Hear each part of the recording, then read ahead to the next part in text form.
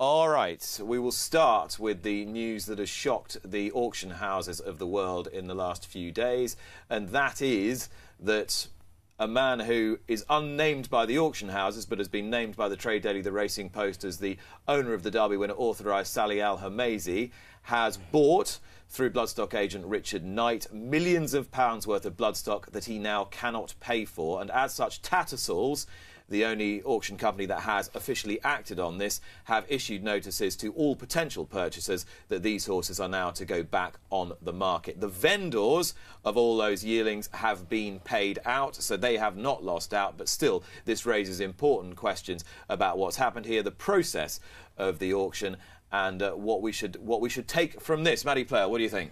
Yeah, I just think it reflects really poorly uh, on the bloodstock industry as a whole. You know, this this lack of transparency, um, and this is a huge amount of money, and we're talking reaching across the globe as well. You know, this is not just in Britain. This is at Keeneland, um, a huge sum. And if you were to say this to someone outside of horse racing, oh, will someone manage to spend that amount of money, uh, and then suddenly the horses haven't been paid for? Uh, I just think it, it, it, reflects badly, and of course, it means that the, the sales results in themselves were false. Um, you know, this in theory would have been driving up the prices and the averages. Uh, I feel badly for the people who have produced those horses um, because now they're going to be at a totally different stage in their development when they resell. And I just think we need more transparency uh, and we need to tighten up those processes so that this doesn't happen again. So auction houses, although most of them haven't commented, they, as I understand it, Charlie will have offered or, or, agreed a credit line sometime in advance. It's not as though some guy's just come in and started sticking his hand up and they've gone, yeah, absolutely fine. You do need to express the fact you're going to spend and spend big, and they will then conduct the checks on you to see that to see that you are someone who is likely to pay for that and you've got someone who has bought and sold a lot of bloodstock in the past. So it's a pretty unfortunate set of circumstances. Is it something that can be stopped in any way? Can we do anything about it will be interesting to see if you know, if Tattersalls do move the goalposts um, in future. yeah whether this this event will will make them rethink you know when people are going to be spending these kind of volumes they've obviously established that there's a line of credit open, they obviously haven't established that the credit is there. Um, will they need to in future have have the money in the bank before they allow them to? But can they do that? Could you do that? If somebody said to you, right, so so say you're buying, you want to buy 40, 50 yearlings from book one, and spend, I don't know, how much would you spend on book one normally? Us personally, yeah. well, we probably buy 15 at an average of 50. Um, so 750. That's that's a lot of money. But would you would if they said to you, right, we're not going to do that unless you put your 750 in the in the bank on deposit now?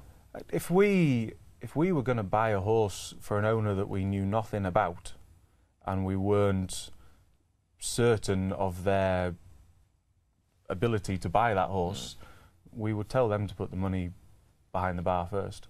Is now um, not the um, time to start naming clients as well? Would that help with these processes? You know, is there any reason really why someone, an agent, can put their hand up for a, a million pound horse and we have no idea who sold it or who it's going to? Well, I would say, as a buyer, you're entitled to your anonymity. As a vendor, the buyer should know who's selling the horse. Yeah. That would be the way I would look at it, wouldn't you? I mean, I think transparency is who's selling the horse. Everyone should know who's selling the horse. But I think you're entitled to anonymity as a buyer, aren't you? Aren't you? Or not? Yeah, I think you well. It's difficult difficult to argue the toss in this situation, isn't it? But but I guess would if we'd known if we'd known the client, would that have changed his situation? Probably not. Mm. Um, it might have actually made you think, well, yeah, he's good for his money because yeah, exactly, he's owned a yeah. Derby winner. Yeah. But at least everyone would know where they stand. Yeah, I mean, the interesting thing here is um, I, I, I, can only only speak as I, I have encountered the agent in question, Richard Knight, a few times, and uh, I, I do feel some sympathy with him. Well, he's I mean, a business this, partner I mean, in this as well. Yeah, I mean, he's it's not just an agent. It's had a major, it's had a major impact on, on his business. I mean, he presumably thinks this guy's good for his money. Yeah, I'm sure it'll be very tough for him. Uh, who actually had a had a runner for one of his other clients last night, and I just WhatsApped him post race. Um, you know, we've we've always gotten really well with Richard and um, found him someone very, very straight and honest to, to deal with in his role as a racing manager for, for Mr. Luter. Um, yeah, this will be very, very tough for him because, albeit it's not him that will have, you know, it's not his funds that haven't come up, but he's the he's the fall guy to an extent. He's the name that's in the in the paper. Yes, I suppose that's what you mean, isn't it? That he's having to take the hit for something that's effectively not his not his fault. Yeah, and of course we're going to see these horses sell. Um, those letters were sent out to prospective buyers. I mean, it's just a totally different scenario, isn't it? I mean, they've been in pre-training. Um, who's paying the pre-trainer? well, Um, Tattersalls presumably yeah. now because they are they are re-offering the horses. They would have been paying Adam Kirby, I presume. Absolutely, yeah. So um, it will be interesting to see what happens to them because we're talking about real high class bloodstock here, um, and you know a lot of well related horses who are probably likely to have successful careers on track. There is a possibility as we move on, of course, that Saleh Al Homaizi, if indeed it is him, he has been named by the Racing Post, he can he has got until tomorrow to, to, to buy the horses by the by the final deadline. So it may well be that this spurs him into into finding the money. But the the likelihood is, of course, that these will all find uh, other homes, presumably at um, either significantly reduced prices or somewhere around the the last bid before they were bought. Um, tickets for the Lingfield Winter Million have been on sale, um, Maddie, for a tenner. Is that Is it 20? 20 quid. 20 quid for three for days. three-day for three pack. days, sorry, yeah. Yeah. So that's what I mean. Less than a tenner a day. It's 20 quid for three days. Exceptional value. Um, I've found myself at quite a few Lingfield meetings of late, and uh, yeah, I think for such high class racing, you know, we've seen top class horses um, at last year's meeting. Uh, you've got variety there with the, the flat racing as well. Um, and in a time of the cost of living crisis, everyone's tightening their belts. There's a lot of negative energy in the sport about, you know, customers getting value for money. Uh, this is a positive story. We should be talking about it well done, Lingfield. And um, yeah, it's going to be a, going to be a great event. Um, Lily, you were saying a lot of your friends aren't immersed in racing, but I'm sure they like to go, some of them, particularly when, when you're riding. How much do you think is fair to, to, to get in for a day out? Oh, I think it's great. You know, Lingfield is, um, especially with this meeting, you know, it's quite a big meeting, and I feel that, you know, the price of tickets is brilliant. And yeah, no, I will be taking uh, one of, a few of my friends to come with me um, if I've got a ride there. And I, I, I do think it's really fair, like fair for money, and uh, no, well done, Lingfield. Do you do that quite a bit? Do you, do you, do your friends come and support you quite a bit? Yeah, they do. Um, yeah, my friends that are outside of racing, they really do enjoy coming racing and watching me, so it's quite nice. And you don't feel any kind of like pressure having to look after them, and you concentrate on the job. You just let them get on with it. And yeah, let them get on with it. They do their own little thing, and um, no, they really enjoy it. To be honest, do you think you've converted a few?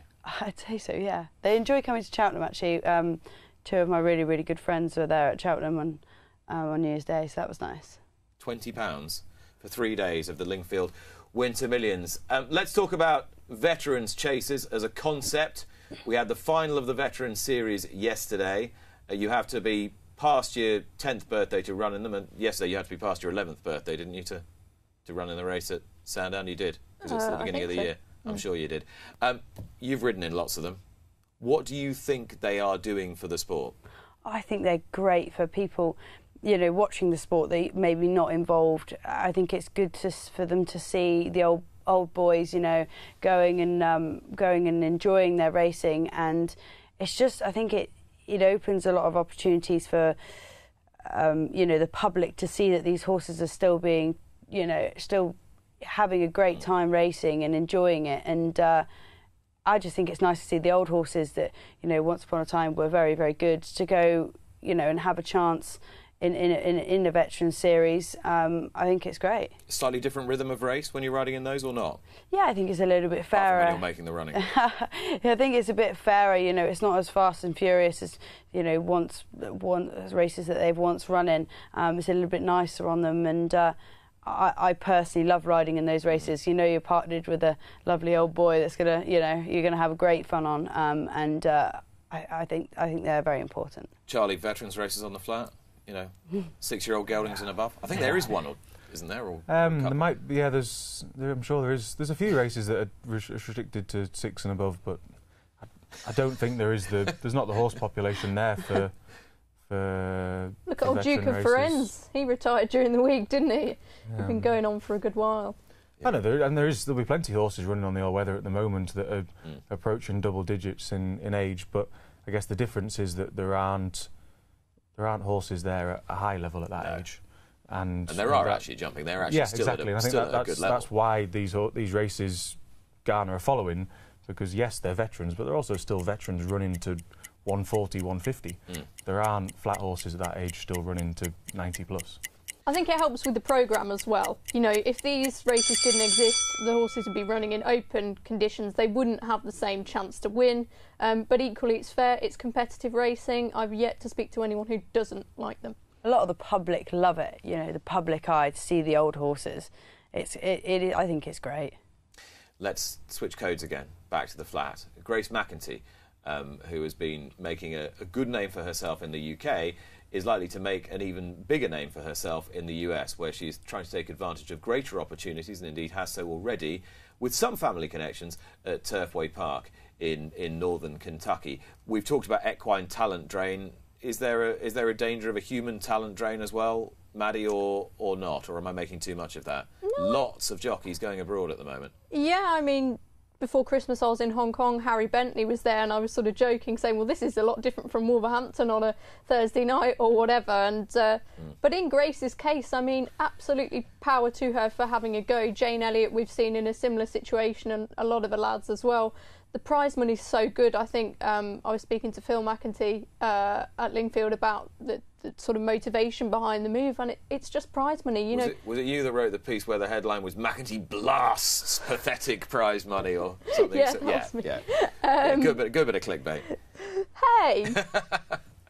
uh, but no, Phil was understandably very, uh, very animated about it because you've got a, a talented rider, an up and coming rider like Grace, who can earn.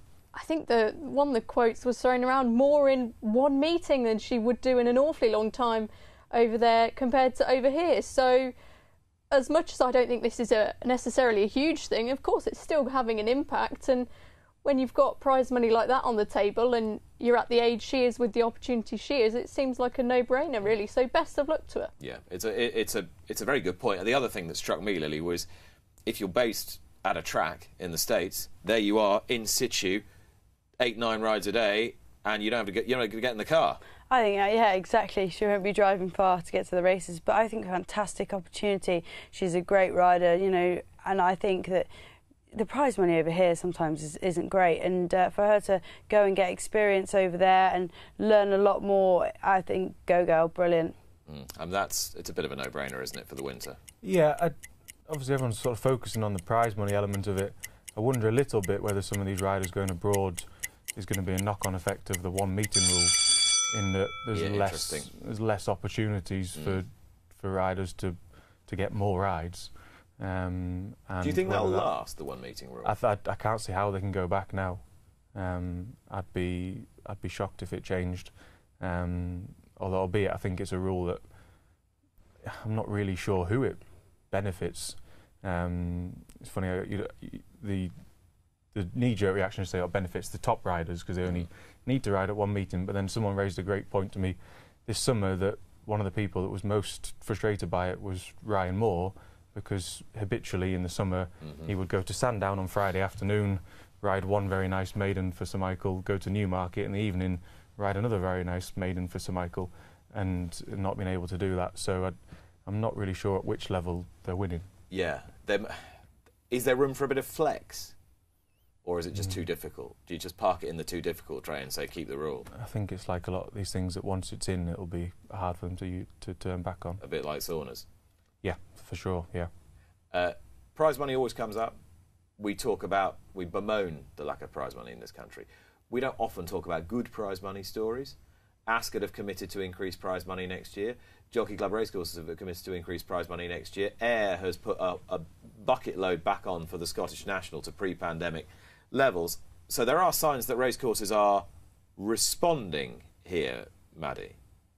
Yeah, absolutely. And, uh, you know, the COVID pandemic had big implications in, in that regard. So it's good to see that prize money is returning to those levels. There are still places where it can be improved, of course. Um, but I think for me, this is a slightly different point. But I'm most worried about attendances at the moment, uh, and prize money is not necessarily going to encourage people back to racecourses in the same way that it, they once were.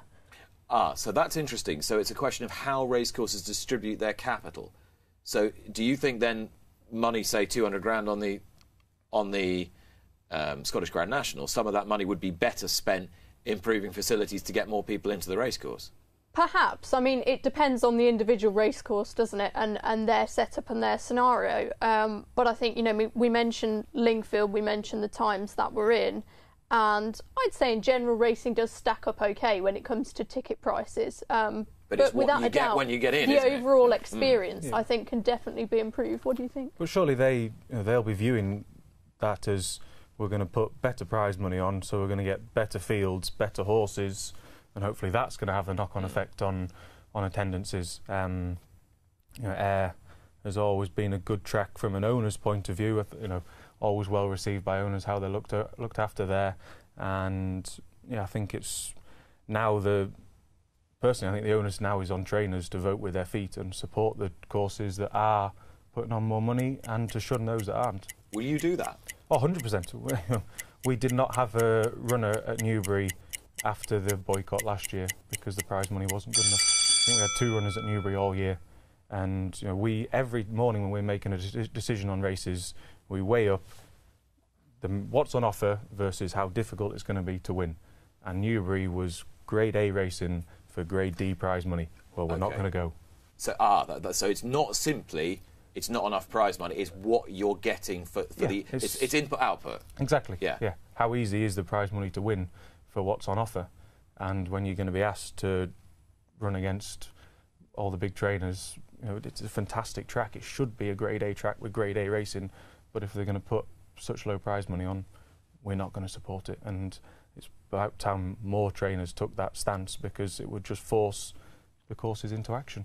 And so you will have a look at that um, qualitatively every time you, you sit down with a racing When we make entries and when we make declarations every day, we, we're always looking at it. and do you find it quite straightforward to figure it out? Yes, because you know, you know what level is going to be required to win a race at Newbury. You know, you know that it's going to be a competitive maiden or a competitive handicap for the level, um, and if the money comparatively is not worth, um, not worth trying to win it, then don't bother making the entry Right. Should we talk about the whip? Come on. for once. This is what you've been waiting for for the last two hours. The revisions have taken place to the proposed whip rules this week. Let's just boil it down and distill it for you. What was proposed was that jockeys would have to use their whip in the backhand position only, not in the forehand position. That has been changed, so jockeys can now continue to use their whip in the forehand position. The other major change is that what was proposed under the measures set out by the recommendations from the steering group that were ratified by the BHA board was that number of strokes you were allowed in a race would remain at eight over jumps and seven on the flat. That has now been reduced under the revised measures to seven on the flat and six, um, I beg your pardon, seven over jumps and six on the flat. And the penalties have been increased over and above the increased penalties that were recommended by the steering group. So, for example, the punishment for using the whip above the shoulder height rises from a suspension of minimum of two days to four, and penalties are doubled in class one or two races. If you take that to its absolute uh, extent, if you go three over, for example, you will get a 20 day ban in class one and two races. And if you go four over, that will be a 28 day ban and disqualification. So effectively, the trade off is to have your overhand back or your, your uh, forehand back, it's a, a, a strike off, even stiffer penalties, and no discretion in terms of um, strikes. Lily Pinchin, what do you think? I think that this is a, lot better strategy than what we had with the backhand. And not a lot of people, I would say most of the lads in the weighing room, were not happy with um, with using the backhand. Um, I think Harry Skelton, Harry Cobden, everyone that was involved, um, you know, Tom Skoo, everyone that was involved with the with with sorting this issue out has done an absolutely fantastic job. And look, we've just got to be very careful with what we're doing and how we're riding. The onus now falls squarely on the jockeys, doesn't it? The, the the responsibility now is much more on the jockeys, perhaps, than even it even if that has been to to abide by the rules.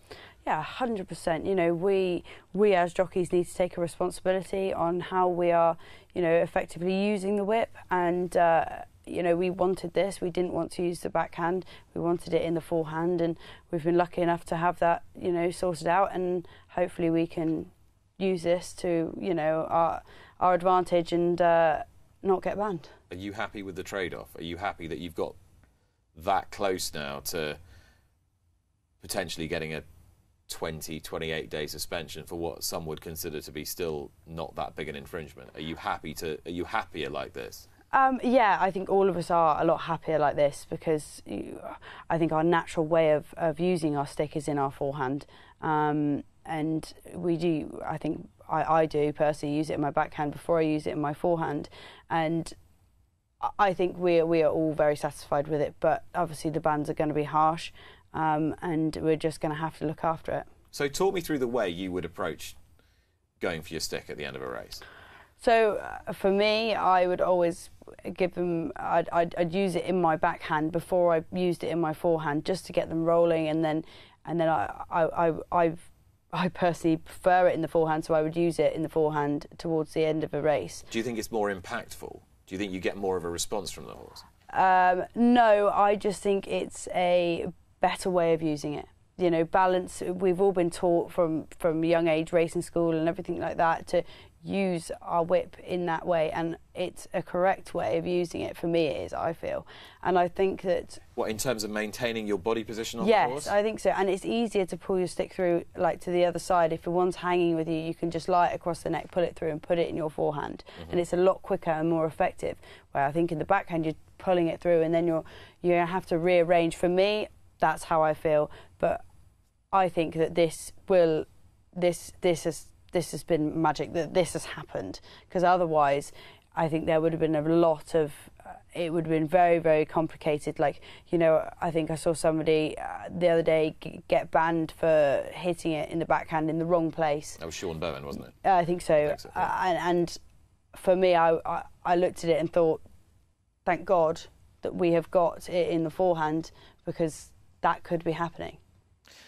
Maddie, you've seen the original proposals, you've seen the revised rules. Do you prefer either, both, neither, or would you rather this issue, as your colleague Chris Cook said earlier in the week, would just be stopped talking about?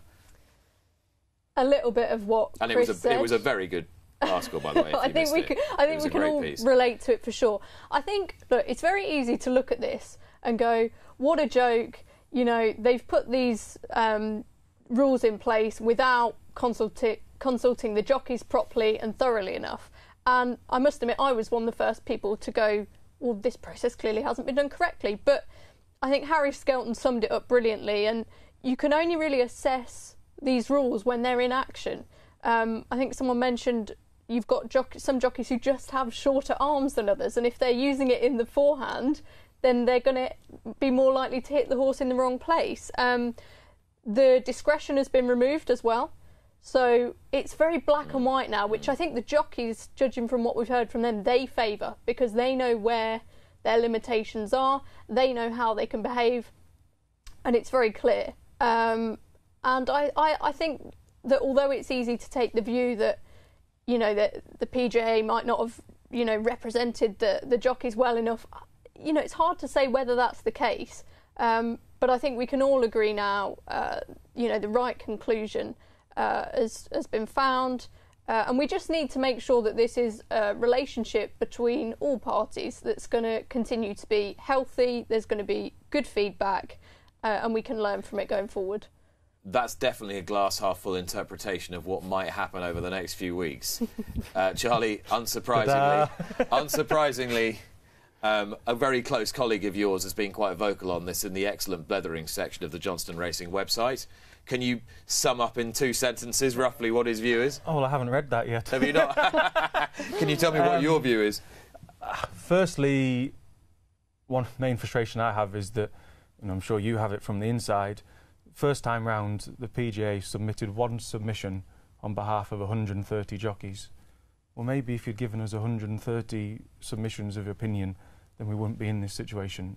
If there'd been better canvassing of opinion and a better, you know, information going forward to the steering group at that point, you know, I don't, I don't see how the, anyone can view this as a win for the jockeys.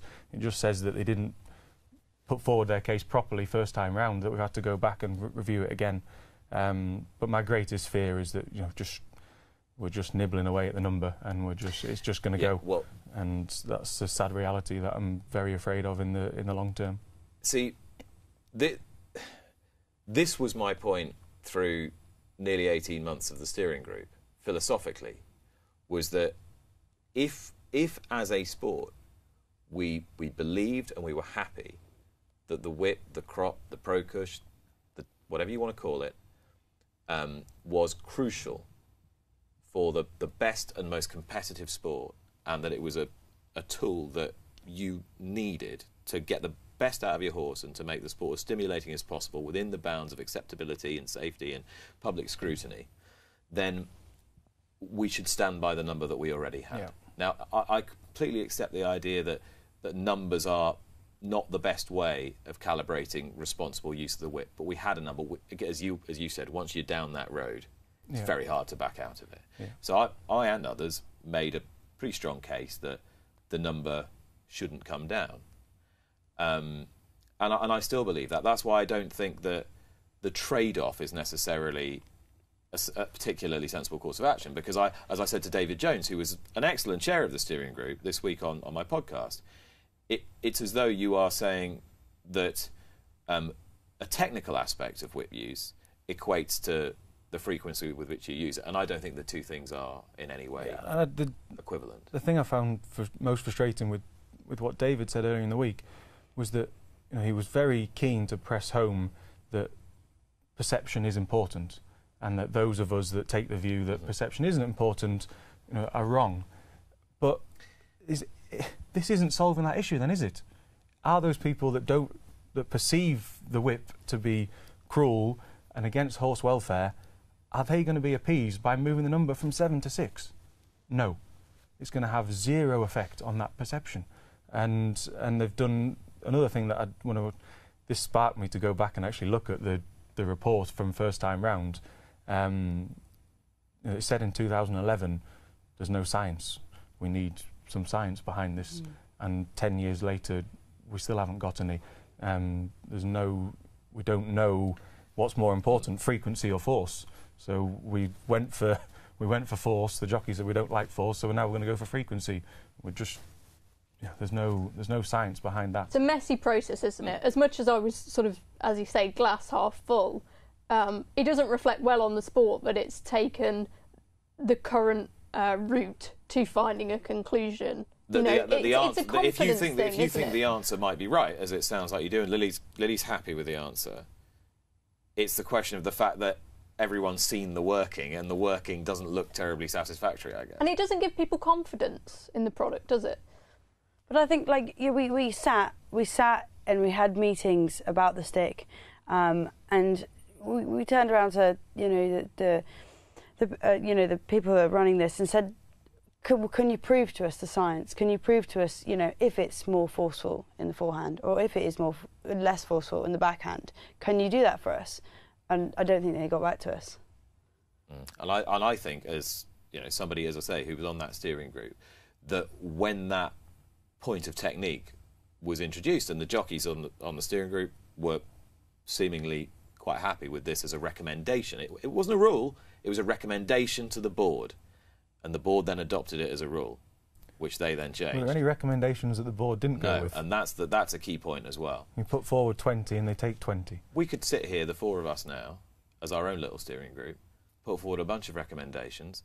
It's for the board then to decide which of those recommendations they think are good and which ones they think are hogwash. I'm not trying to absolve responsibility. I'm just saying Yeah. that's the process. One thing I want to ask is obviously we're seeing now that the penalties are, are harsher than initially suggested. Were you surprised by that, having been on that steering group? Well, I thought that the penalties, such as they were proposed, were were quite harsh, as recommended by the group. I mean, as in correctly harsh. I think they've now got to the point where, if they work, and the, it's really in the hands of the jockeys now. I think the jockeys have asked for, to, to take on more responsibility. Yeah. They've asked to own this issue, and I think they. I think you've been kind of given ownership of the issue. Yeah, I I think look, we, we we're going to have to work. We're going to have to work hard to, you know, use this to our best ability, and it's going to be a bit of a challenge. But I'm sure, I'm sure we'll, I'm sure we'll be fine. Yeah. But someone, someone will go over at Cheltenham, and they will go over in a high-profile race. And it And might be a 20 day or a 28 day. and now the mainstream media headline is going to be 20-day ban winning the champion hurdle, or not the champion hurdle because he might not need to hit that, but 20-day ban winning the Ryanair. um, so, and so that's not going to be good for racing. Well, so my my take on was I happy with the with the bans as, as they were before. I think everyone agreed that harsher penalties was, you know, a good thing to try and stop flagrant rule breaking in big races. So it's like to stop the win at all cost mentality. I'll just break the rules because it's the Gold Cup or the Grand National blah blah blah. So you'd stop that. You give you give harsher penalties. Hence the uh, the coefficient for Class One and Two races. That's that's pretty easy to to understand. I think. Um, I think the problem is when you get into massively high bans, you're you're losing a sense of proportionality with what you else you might get banned for, like mm. a non-trier or Yeah. you know riding a finisher circuit too early or whatever. Do you see what I, do you see what I mean? Yeah, imagine if something went wrong, you know, and it, like like you said, you rode a circuit too early, or, you know, and then you've got a whip ban. You're going to be off for a long, long time. Yeah, yeah. Well, there you are. So the the the onus is very much on the riders now, mm. isn't it, Charlie? Big style, yeah, yeah, and it, it just it is worrying that we're going to get headlines for all the wrong reasons at a high-profile meeting, and um, so the the pressure really will be on the jockeys to try and avoid that at all costs. And you were against the, I presume, the timing and the bedding in period ahead of Cheltenham. I mean, that seems quite easy to understand why. Yeah, I think um, I guess now it's it'd be less so, um, but for the Irish jockeys to ride with one style at home and then be asked to ride with another style at the most important meeting of the year, that was going to be very very difficult for them. Um, but some in some ways, whenever you bring it in, it's going to be difficult. It's going to have to come in at some point, isn't it? Um, well, sadly. Okay, that was the longest. Never, never mind the greatest two minutes in sport. That was the longest two minutes in sport. Done. Watch live racing now on racingtv.com.